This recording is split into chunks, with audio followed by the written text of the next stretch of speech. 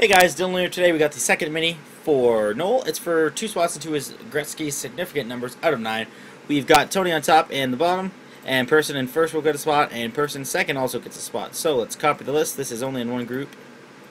He said just in JPM, so we are live once again. Let's do this three times just to confirm. Yep, three times. So, first, the top two. Second time, timestamp is 021635. We're going to copy the list, bring it back to JPMs, verify the time of the comment, which it is 1016. We've got 1016.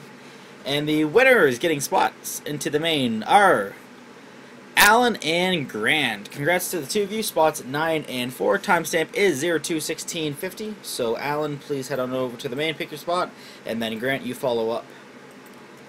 So, again, we'll verify the time of the comment, which it is 1017.